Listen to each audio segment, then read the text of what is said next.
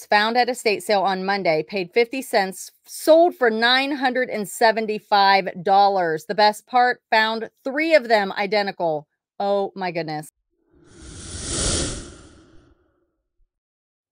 Hey, Bolo Buddies, thanks for watching. All right, you guys, in this video, we are going to talk about unexpected big money bolos. I'm going to tell you where they got it, what they paid for it, and what it sold for. So what am I talking about? Well, in my Bolo Buddies Facebook group, every month I post a post to share a sold. So this is a bolo item, something that you sold that was either unexpected, sold really fast, or big money. And you come over and you share it, you shout it out, you tell us where you got it, what you paid for it, what it sold for. If you sell on platforms and you want to shout that out, put it in the comment. And I will also mention that in the video. So we're going to get started here with the first one, which is a knock your socks off. Okay. It says, found this small book in a box. I got it in auction for a couple dollars. Our water heater flooded the house, so I literally tossed everything into the kitchen to save it from the water and forgot about the box of books. Going through things after repairs were made and actually tossed the, this one to my hubby to look up to decide yard sale or eBay. All I heard was, we're going to say, oh my goodness. So figured it must be a keeper. AA book with original meeting brooches inside listed auction for 500 and received an offer of 375 which she passed on. She said it didn't sell so relisted for 475 on auction again received an offer for 400 uh, was less than one day left so grabbed it took the offer uh, less than 50 cents into this and turned it into $400 so yeah, some of the vintage Alcoholics Anonymous books can be big money. This is a first edition, 12th printing from 1948. And big book, AA, brochures, all those keywords in the title. The next item comes from Edge City Traders, and she sells um, on eBay, Etsy, Poshmark, and selling wholesale jewelry lots on Edge City Tra Traders in Lily Works Jewels and lots on District. Okay, so we are going to see what this says. Studio Art Pottery.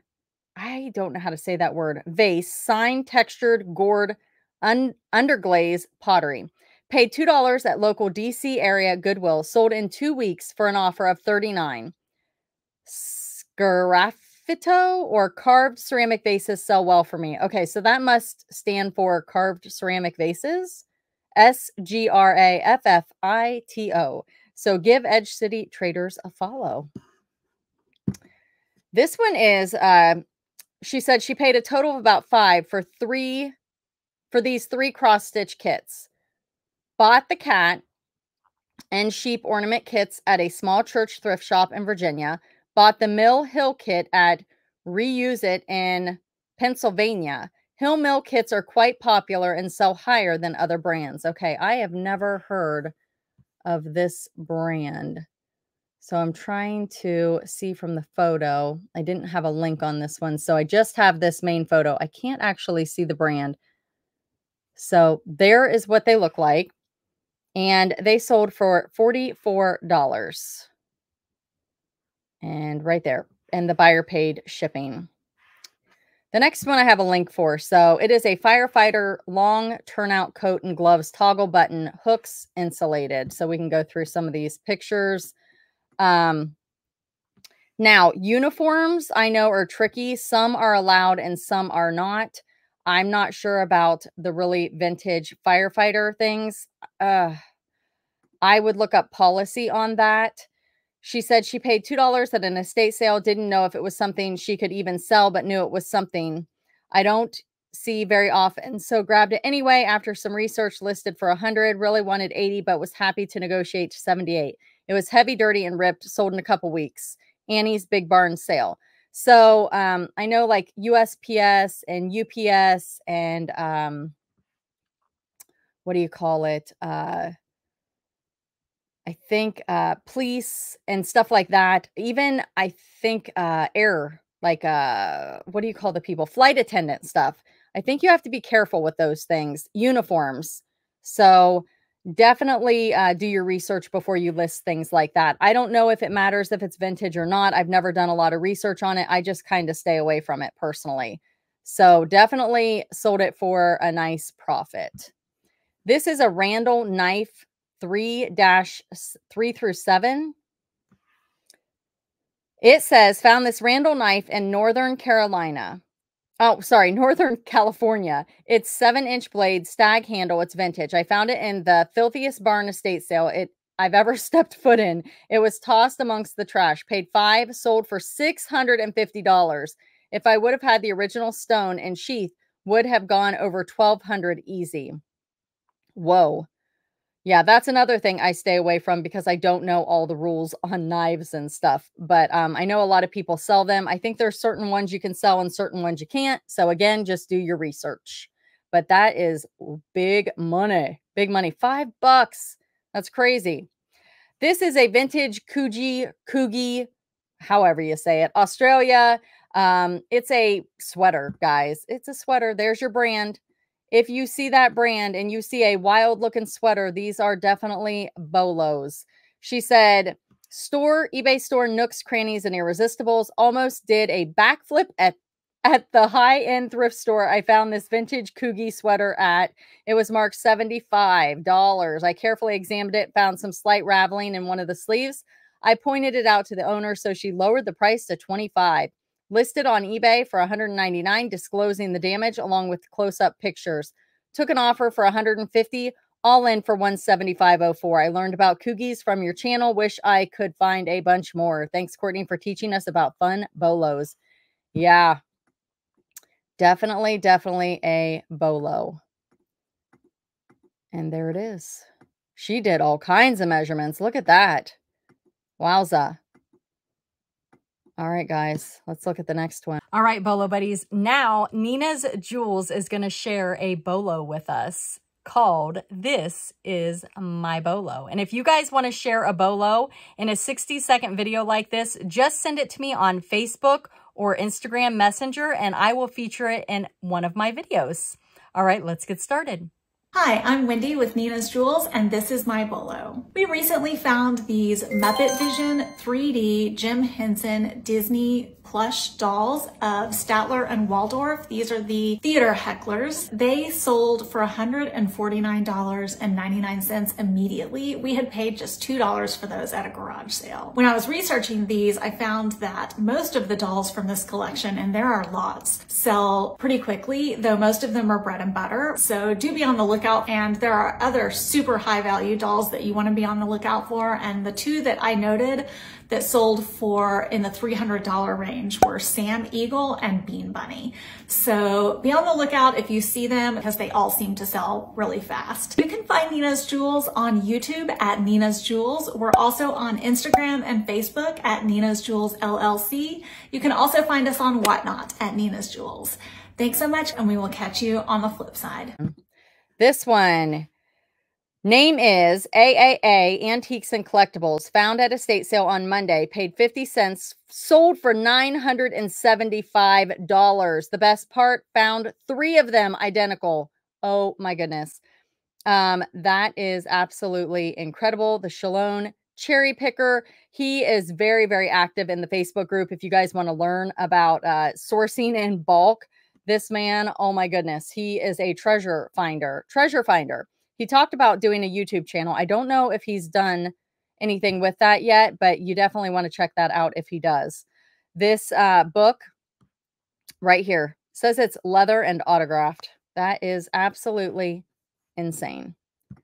The next one are these Judy Blue, never heard of that, denim jeans. So I don't know if it's these stars that made it go for more or if it's the brand, but she said paid $4.50 sold on promotion for 54 shipped within one month of listing to a repeat buyer.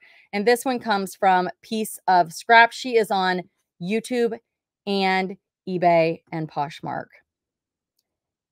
This one here, Facts and Fiction. Kelvin figurine bunny girl with felt ears, vintage rabbit Easter, and she is kneeling. She's three inches. Isn't she adorable? Oh my goodness. So cute, right? I'm trying to figure out Like, I don't see a brand. It says Kelvin. Let me see here. Is Kelvin the brand? How does she know that? I wonder. Hmm. Yeah, the brand is Kelvin. Maybe she just did Google Lens. Anybody know? Because I don't see any markings. She said, I found this item in a lot of Easter figurines that I won from an online auction two weeks ago. So I have about $5 into it. I knew she was kitschy, but did not know anything else about her. She's apparently part of a trio, but I could not find any recent solds.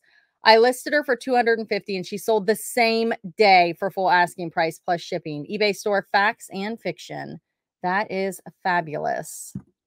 The next item is this Tammis Keefe handkerchief, vintage New York City, Uptown Central Park, Bronx Zoo, New York. This is also facts and fiction. She said, Tammis Keefe was a well known textile artist known for her mid century modern designs. I picked this up in New York City landmark handkerchief in an online lot and have about $3 into it. Since I could not find any comps for the this particular handkerchief, I did what you tell us to do and put it on a 7-day auction, starting at a price I would be happy with. I only had one bidder, but I can't complain because it sold for 150 plus shipping. Yes, if you cannot find any others like it, list it high on auction and see what happens. It worked for her, $150. The next item is this vintage Scotty Dog Scottish Terrier oven mitt. It is an oven mitt, guys. I got this Scottish Terrier item at an estate sale, amongst other things. Paid 45 for a box of items and have already made back my money. This is my first Mercari Bolo, sold for $24.93 plus free shipping. So um, I don't know if he's new over there on Mercari, but Mercari is a great place to sell uh, a lot of plush, toys, jewelry. You can sell pretty much anything on Mercari, and they have no selling fees anymore. So if you guys want to check out Mercari, I do have a um, link down below where you can get $10 to shop when you join and another $20 to shop when you sell $100 worth of stuff. And that is my referral link. So definitely check it out. Now, also, I just released a video talking about um, List Perfectly and how I'm using it to create and generate my listings way faster. Oh my goodness, you guys have got to check out that video. It is like a total game changer. Super excited about that. So check out that video. And then I'm also doing something else where I'm refreshing my entire eBay store. And that is a separate video. And I'm going to tell you how I do that also.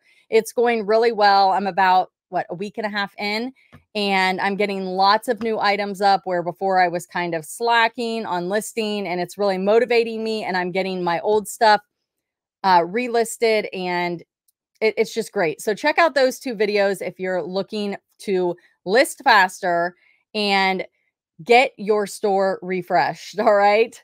And i will try to remember to link those down in the description. This is my bolo. This guy's name i think is horace. He is a uh, Disney character. He is vintage, and I picked this up for 25 cents at a garage sale, and I sold it for $24.80, and the buyer paid shipping and tax. This is also going internationally to a first-time buyer on eBay. How cool is that? Thanks for watching. This is a vintage 1986 Jewel Secrets Barbie doll. It's number 1737. I always recommend putting the box number into your title. She said, This Jewel Secrets Barbie came from a lot of boxed vintage dolls I bought in an estate auction. Paid 130 for the lot because it included an earring magic Ken, which I've been trying to find forever as a gift for a friend. I'm not making any profit here since I gave Ken away, but both this Barbie and earring magic Ken are good bolos if you can get them at a good price. Barbie also sold quickly in less than a week. In my case, the dolls I sold made up the value of the Ken doll, so I'm incredibly happy about how it all worked out. And then she had another one that I did not get because it was in the same sentence. Wonder if there is a way for me to pop this up. Okay, it's a vintage Britney Spears doll, and it sold for uh, 30 So look up Britney Spears if you see her. All right, the next one comes from Piece of Scrap also, and YouTube, uh, eBay, and Poshmark. She said paid 12, sold for 126 uh, shipped. So that was with shipping. So I think 10404. eBay 10% off promotion. Brooks Ghost 15 Thanksgiving turkey trot running shoes. they have a turkey on them. Wow, that's interesting. Uh, the next one, it is a baby blanket. It says, found this at the bins right before leaving for the day. Vintage Carter's crib quilt paid probably less than $2 and sold within 48 hours for 120 on Etsy. Nope, I'm sorry. Sorry, sold for 108. I forgot I was running a sale. I can't keep can't seem to get my Etsy to link up. Okay, there it is. So I just did a screenshot for you guys. It was 108 because she was running a sale. She originally listed it for 120. So somebody said that's interesting that um let's see. Um, hold on a second. Let me read this. This might interesting. I've found vintage crib quilts before, but didn't care about them. Are there any specific brands I should look for? She said Carter Gymboree blankets are the ones she knows about, and Target John Lennon from the early 2000s. So there's some other tips for you guys. And the last two here are hats. Uh, most of you probably already know Tommy Bahama is a bolo, but I'd never heard of this brand, Helen Kaminski out of Australia. I got both of these along with three to four others in a $5 fill a bag at local honey hole and estate sale leftover store. So I paid less than a dollar. Listed the Tommy Bahama for 29, accepted offer for 26. After six days, listed the Helen Kamis- Kaminski for 69, accepted offer of 55 after being listed for 18 days. eBay store is Deb's Dolls and Deals. All right, you guys, there you have it there are some big money bolos for you. Again, go check out those videos down below. I'm going to I'm going to remember to post them. If I don't, somebody remind me in the comments, post the videos. Um, you can also search them. But uh, thank you so much for being here. I appreciate it very much. I hope you guys will come over to Whatnot and visit me. There is a link down below. It's a referral link where you can get $15 to shop if you join with that. So you can come hang out and it's kind of like a live show. So even if you don't buy anything, you can talk in the chat and hang out and just participate and be around other people. So it's very uh, social. It's very social. We have lots of laughs and we have lots of coffee. So uh, come join. I do a lot of untanglings. So I hope to see you there. Uh, also, my hat Seams Sew Vintage made this, and I'm going to tell you about it every time I wear it because I love these hats. Is this not the cutest design? She made this and put the little owl buttons on it. Seams Sew Vintage. You can buy these hats on Whatnot. So if you use my referral link to join, you can buy a hat and you can apply your $15 towards it. Oh. but anyway, super cute. And if you want one custom made, she can do different colors, different um buttons or whatever she puts on here. Sometimes she uses clip on earrings. Really cool. But anyway, Seams Sew Vintage. Check her out. She's awesome. She's uh, one of my moderators and has become a great friend. And I am obsessed in her hats. So I know you guys, when I used to wear the old ones, asked me, Where'd you get your hats? And I'm wearing these now. So I thought I'd tell you where I'm getting my hats. All right. Thank you for being here. Thank you for watching. Be sure to like, comment, subscribe, and share. And I will see you at the next one. Thanks for watching.